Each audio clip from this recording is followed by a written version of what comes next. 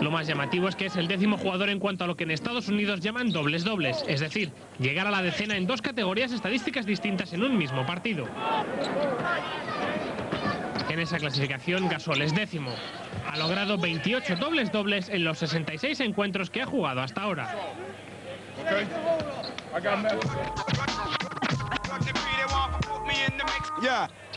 Su juego cerca del aro le permite estar ahora mismo octavo en la clasificación de porcentajes de tiros de dos puntos, con algo más de un 51% de acierto.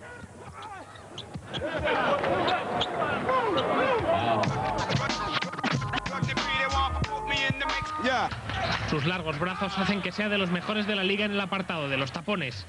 Con 149 es el quinto de la NBA. Si se contabilizan los tapones por partido, pasaría a ser octavo con algo más de dos por encuentro.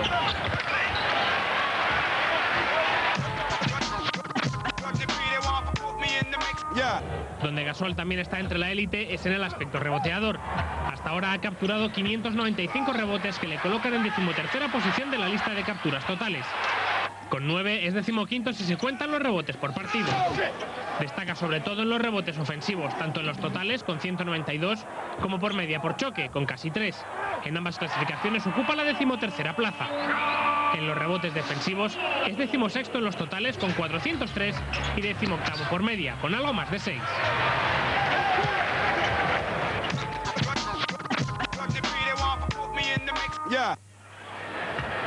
El último aspecto en el que destaca es el de los tiros libres. Estos lanzamientos fueron su punto débil al inicio de la temporada, pero ahora ese problema está resuelto. Gasol es decimoquinto en tiros libres totales y decimosexto en tiros libres convertidos.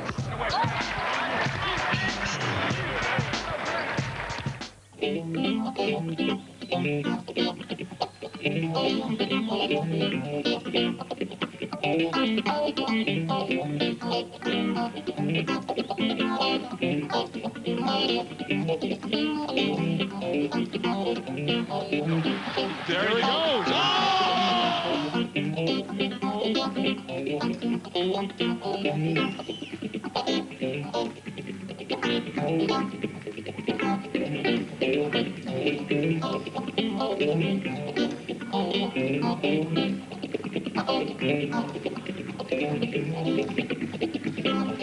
dos, tres.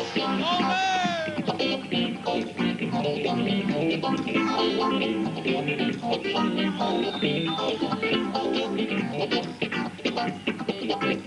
you.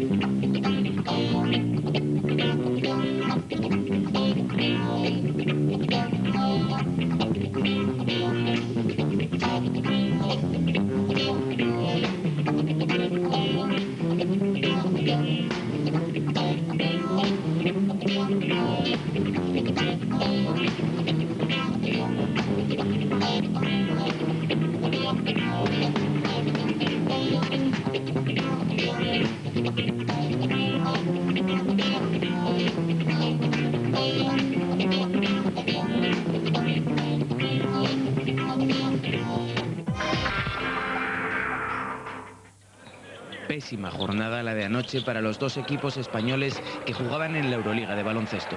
Mientras que el Tau se complicó la vida innecesariamente con su derrota en casa ante el CSK de Moscú, el Madrid dijo casi adiós a sus posibilidades de estar en la Final Four de Bolonia.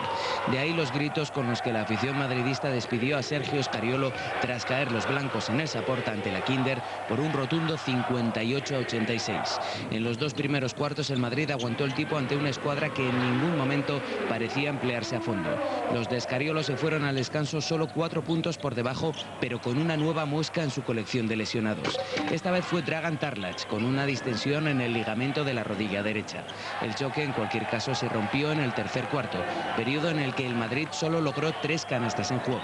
A partir de ahí, y con los italianos por encima de los 20 puntos de ventaja, todo se redujo a un festival para Jaric, Smodis y compañía, y a una tortura para los locales, entre los que solo se salvó un punto honoroso Alberto Angulo.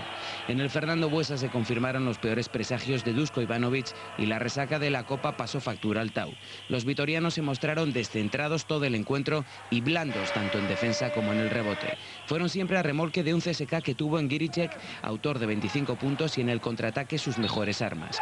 Por un momento, y al igual que ocurrió en los tres encuentros coperos, pareció que el Tau podía remontar al ponerse 68 a 72 en el minuto 36, pero a partir de ahí debacle total de un equipo, el vitoriano, que acabó perdiendo por 73 a 87.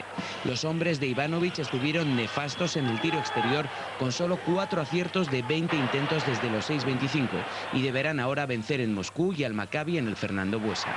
Por lo que respecta al Barcelona, el otro equipo español en la Euroliga, los hombres de Aito están jugando desde las 8 y media en el Palau ante la Benetton de Treviso.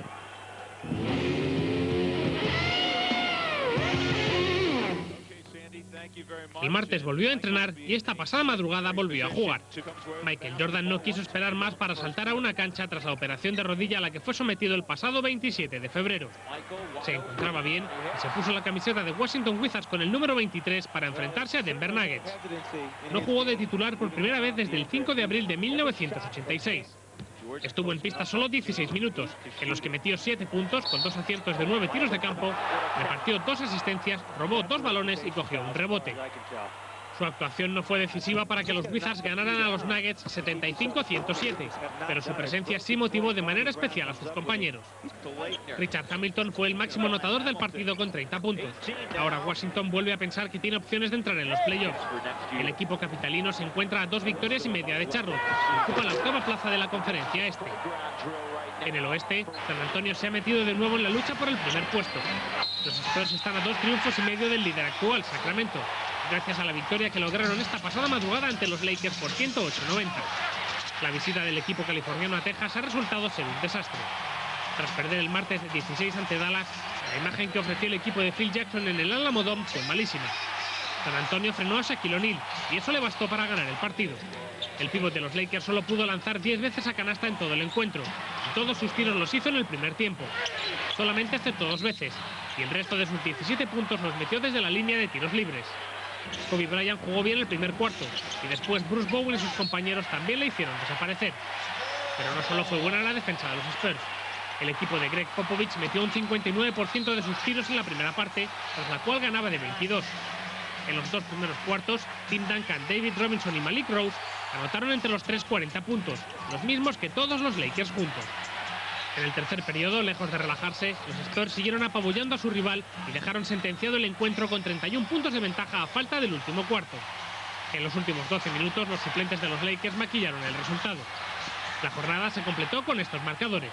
Charlotte 94, Indiana 88, Boston 96, Cleveland 70, Filadelfia 77, Miami 82 y New Jersey 97, Portland 82. Una de las sorpresas de la temporada en la NBA la está protagonizando la franquicia de Detroit Pistons. Actualmente lideran la división central con un balance de 39 victorias y 27 derrotas, siendo segundos en la conferencia este por detrás tan solo de los New Jersey Nets. Su trayectoria esta temporada está siendo un tanto irregular.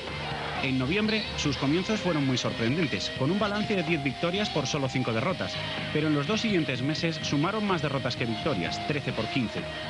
Ha sido en febrero cuando los Pistons han despegado, ganando 9 de sus 12 encuentros y dejando a sus rivales anotar una media de 87,6 puntos por noche, habiendo derrotado a equipos como New Jersey Nets, Toronto, Nueva York o Washington.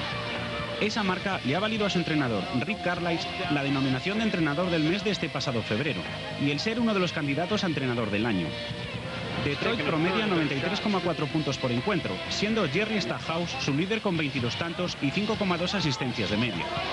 Clifford Robinson con 14,4 puntos y Corliss Williamson con 13,5 secundan a esta House en la labor anotadora. Ben Wallace no destaca por sus puntos, ya que solo promedia 7,5 por encuentro, pero a cambio aporta casi 13 rebotes por noche, cogiendo un tercio de los 38,7 que tienen los Pistons de promedio por partido. Al igual que otros equipos de la NBA, Detroit también ha puesto sus ojos en el mercado europeo y ha incorporado al equipo a los yugoslavos Rebraca y Radko Barda. Rebraca ha promediado casi 7 puntos y 4 rebotes por encuentro, pero se perderá lo que resta de temporada por lesión, mientras que la presencia de Barda es meramente testimonial, con solo 6 minutos de juego en toda la temporada. Dana Barros, Atkins, John Barry, Damon Jones, Curry o Víctor Alexander componen el resto de una interesante plantilla que esta temporada parece decidida a dar la campanada. La última proeza de los Pistons ha consistido en derrotar a domicilio a los Utah Jazz por 94-87, algo que no conseguían desde 1989, cuando los Bad Boys lograron en esa temporada el primero de los dos anillos de campeones ganados consecutivamente. Los playoffs son un hecho para un equipo que ha formado un gran conjunto alrededor de su estrella, Stackhouse, y que intentarán esta temporada hacer recordar a los adorados Bad Boys, que hicieron historia a finales de los 80.